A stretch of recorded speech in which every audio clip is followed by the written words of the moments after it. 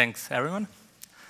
Okay, I'm going to talk about moving the design process to the browser, but before I start, uh, since Anna did a really great introduction, I'm just going to show the photo of, of me finishing my first uh, half marathon, which was quite awesome.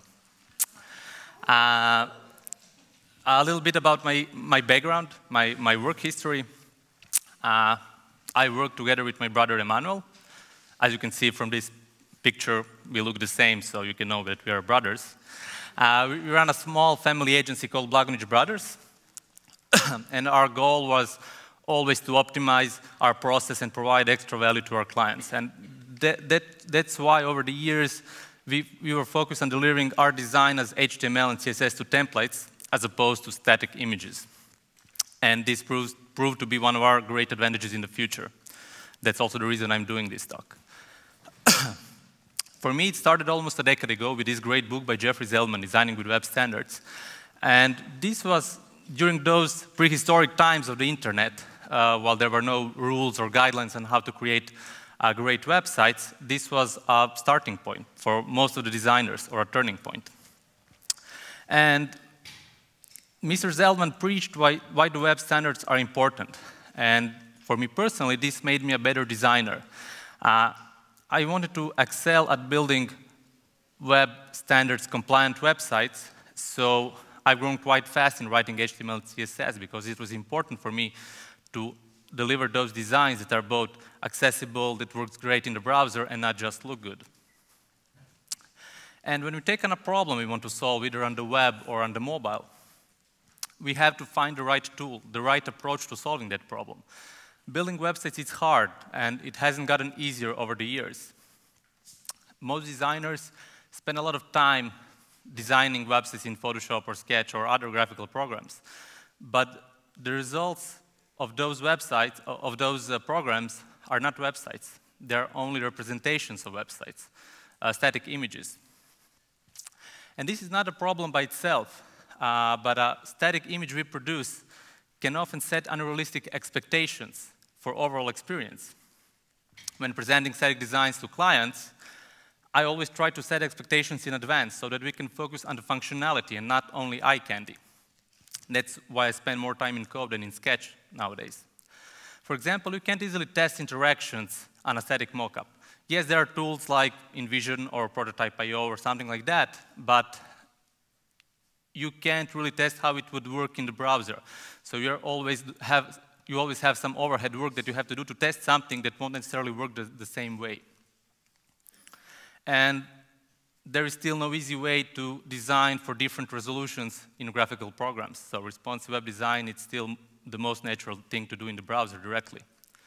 And although working with content has gotten easier over the years, there are plugins for Photoshop and Sketch which lets you generate and input dynamic content and then we test with those. It's still sometimes much easier if you want to test, for example, a really long title to just fire up the inspector change the heading, and see how that breaks the whole flow of the page. And one of the main problems uh, of delivering static design mockups to developers is that we can't specify everything. We can specify only the visual layer. And that visual layer can often be misleading. Our website shouldn't be a, work of art that can be put on a shelf and admired on. It's, it should be a functional thing that actually solves a goal we predefined earlier for our users. And if we were to test, for example, this HTML prototype, uh, if we were to create this website as an HTML prototype and test it in the browser, we would get completely different results, completely different feedback. By designing a perfect use case on a desktop uh, and transforming that on the mobile, if, if we were to choose like low contrast text or, or large background images that don't fit well on the mobile, we would get unreadable text. And maybe the most important call to action on our site in this specific case would become completely invisible, and this is not something we want to do. So everything is great when we are, when we are at home uh, working, working from our Wi-Fi, but when we are on, like on a mobile connection like Edge, then things start to get bad. And if you had like this kind of website that loads slowly, the overall user experience would, would pretty degrade. Or due to poor choices of fonts, or font space or font sizes, the text in the browser would not be legible. Although fonts and the static mockups looked great, in the browser it's a completely different thing due to uh, different uh, font rendering technology on browsers. And some basic things like skipping content sections, using the keyboard to navigate through the site, uh, like I personally do on modals and uh, carousels or something like that, can be frustrating if it doesn't work. So this is also something that we couldn't test in an image. And small, target, uh, small touch targets are usually evident only on smartphones and tablets. You can't really design those in Photoshop. You can't really test those in advance. And you'd believe that we'd master the hover and focus states by now, but still designers don't design for these things. They often forget about it because they're designing only for the visual layer, which is not often uh, deep enough. And one of my favorites is that when I get on this page, it uses a, a bad, badly implemented parallax effect. The whole browser, the whole, my whole high-end computer chokes, and this is a really bad experience. And these are, these are, of course, only some of the things that I see when I visit a website. Someone else might see a completely different thing. We should instead modify our approach to making design decisions. We should set some ground rules before we start to design. And if we define our expectations before we start to design, then we can tackle these challenges during the whole process and not at the end. And it's important to mention that with the average website uh, waiting almost two megabytes, uh, if you want to really keep performance in mind as one of your main goals, then you have to think in advance. After you added everything, it's too late. And if you want to create a page that is simple to use, if you want to think about accessibility, then that should be one of your main goals. Yes, it's nice to create beautiful animations and interactions, but make it functional first and polish after that. You will always score points with users if you're creating a functional interface. And designers can often get carried away by building animations that they, they tend to forget that the whole, the whole website is unusable. And with thousands of available web fonts to choose from, it's hard not to get distracted when setting type. So please keep your readers in mind. Try to choose the font that, that fits the context, that, fit, that fits the, the copy that the client has sent you that you can use. And although we came a long way with accessibility, we have good tools, libraries, and resources, and accessibility is also very well, very well received in our WordPress community as well. Uh, these live captions, for example, prove it. Uh, there, this, is, this is still something that we have a long, long road, road ahead. Designers and developers often say, uh, but yeah, but people with disabilities, like those users with disabilities are only a small percentage of our whole user base. But this is simply wrong. So next time you design that custom checkbox or code it in JavaScript with two lines of code, think about how you're affecting that something that by default works and if you're making the whole thing unusable for someone else who doesn't necessarily use the computer the same way you do. And to name only a few, there are, of course, many more goals you can set. These are only some of the goals I set when I start to design. Good design can be hard, but we can pull it off by making decisions and meeting our users where they are in the browser. Designing in a browser doesn't presume that designers need to know how to write HTML and CSS, but it presumes that they should be aware of how certain things work in the browser. They should be able to talk to their team members, front-end developers, back-end developers to work together. Browser here is really a synonym for making decisions on actual feedback and usage and not assumptions. I found that style guides, for example, help transpose the design process from a single point of view to include multiple perspectives we talked about earlier, not only the, the visual perspective. And that helps deliver a better experience. Style guides are, in a way, changing the way we deliver design nowadays. And 10 years ago, 10 years ago, we were used to delivering like different iterations, different pages like static PSDs or images. That, that was okay at the time. But nowadays, it's much easier to just deliver HTML templates because all the interactions, all the responsive breakpoints, all the different resolutions can be, can be tested in an HTML. And Style Guides builds upon these ideas by helping us define a set of standards and guidelines. We are effectively building a design system that, that way. And one of the great things about Style Guides is that they are encouraging modular thinking. It's, under, it's in our best interest to keep things simple and to reuse things as much as possible. And modular thinking is responsible for the delivery of the building blocks or Lego bricks that are a part of that design system. And where we once delivered only HTML templates, we can now deliver uh, small HTML chunks, which can then be used to create different pages, different variations. And they say that one characteristic of good design is consistency.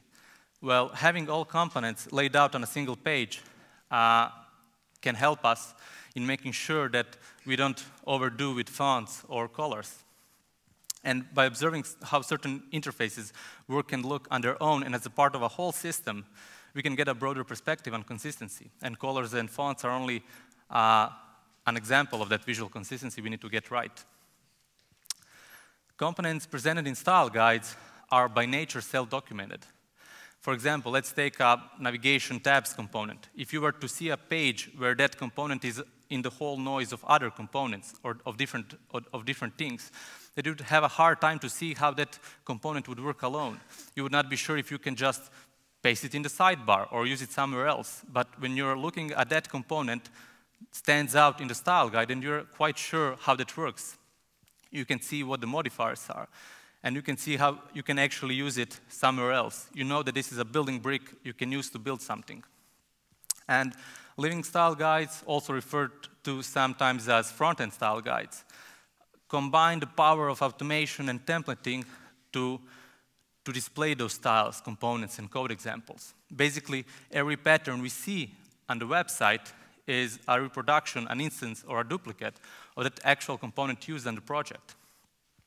And for example, if you change the style of that spe specific component, uh, even slightly, the changes will be visible throughout the site and in our style guide as well you have to remember that if the style guide isn't updated accordingly, it will become obsolete over time, and then we have no use for style guides.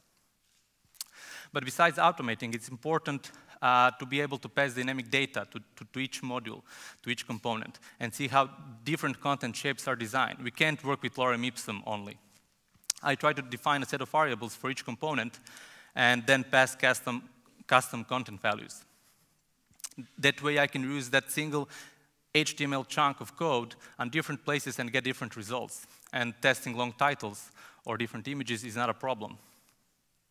And by combining those two, uh, automation dynamic data, we can get reusable code patterns. And then generating different variations is simple because we're always using only one HTML.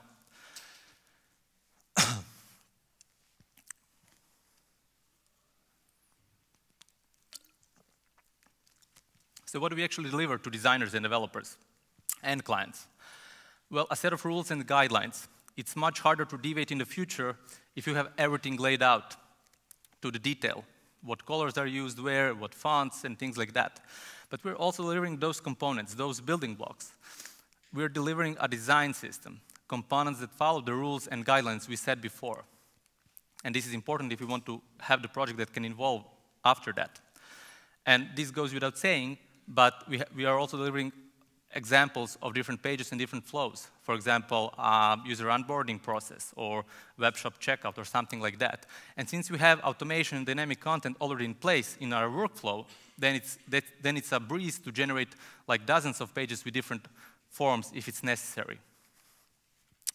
But we are also delivering our best practices, our, our expectations and our goals about accessibility and usability and things like that. And if we strive to include our best practices in our process, then this will also reflect in our delivery. And although style guides can be daunting to start with, there are plenty of tools and resources that can help you get started. But it's best to start simple and complicate gradually. I found that Style Guides IO is a really great place to start. It hosts a different collection of tools, articles, it even has a podcast, and you can see what kind of a style guide generator tool would help you in your process. But you can start simple. Start by creating an interface inventory. This is basically, in my case, a, a spreadsheet where I try to document all the different components and pages I have on the project. And I try to list their basic properties, like names, descriptions. Um, I try to define naming patterns for navigation components. And what's more importantly, I try to take a look of each component from multiple perspectives. So if, for example, if I'm working on a carousel, uh, carousel uh, component, I try to specify what other third-party libraries I'm going to use to make it accessible. And I try to write everything down. And after that, you can define the colors, font choices, different form, uh, form examples, uh, default elements. And if you're using a CSS preprocessor, which most of us are using nowadays, then your less or sass or stylus variables is a pretty good place to start. You have already defined all the important things that shouldn't be changed and should be only reused on the site. And now it's time to display them to others. And design discussions are usually much more productive when we can focus on the specific component as well, where before the client would comment on the whole page, like, I don't like this, but I can't explain why, he can now also comment on the specific component, and he can see that typography and colors are only building blocks of that design, of that design system.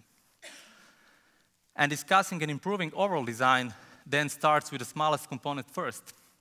And since you've taken a modular approach, you, all, you already have the building blocks, and you, you have to include these patterns in your style guide. But if you really want to keep your style guides relevant, then they should be based on your code base. You have to find a way that suits you best to automate the process of generating and updating those style guides. In my case, I'm using a Knyle style sheets. Uh, this is, uh, in short, KSS, is a CSS documenting methodology, which enables to document important things like uh, description, where it falls in the style guide, uh, maybe even define an HTML example. I can also include those HTML chunks directly into as a reference into CSS code. And this allows me to generate quickly and with, without much problem examples for different state of buttons or different things. And the best part of designing in a browser is that uh, you can use all sorts of tools from testing, from your browser inspector that's already built in, or to third-party scripts and services. For example, if you wanted to test accessibility, you can use this awesome, great little JS library by Khan Academy developers. You include it on the site, and it highlights all the potential problems, accessibility problems you might have in an HTML. For example, maybe the color contrast isn't good enough, and you, you can correct that. And this is not something that you could do in Photoshop. So this is one of the great advantages when you're working with live code. Or if you're not happy with your page speed score, you think the site could be, could be loaded faster, then try to do a few changes. Try to see if that background video the client insisted to be put, put on the website really helps and benefits the user. And you can then use and leverage those results to your clients and stakeholders to actually make the right decisions. It's much easier to talk with numbers. And starting with style can be hard. And implementing this approach into our own process and existing development process can be challenging. But designer job is not always easy. But going that extra mile pays off. And although good design can be hard, it makes perfect sense. By designing in the browser, I'm able to communicate better with my clients. By designing in the browser, I dramatically reduce the delivery time, while also being able to add extra value to the project, which the client was really happy afterwards. And by designing in a browser, clients can become a part of that design process from the start. Thank you.